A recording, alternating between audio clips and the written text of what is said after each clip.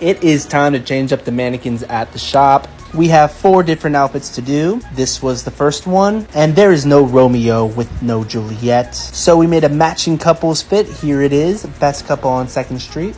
Next, I wanted to make a Melrose couples matching outfit. So we have the vibrant overalls with the mesh dress. There's Jillian seducing the mannequin, shaking my head. And for the guys, we have the black Carhartts that needed a belt. And for the top, we wanted to do like a blue tie-dye with our custom blue liner. This couple's fit was the best ever.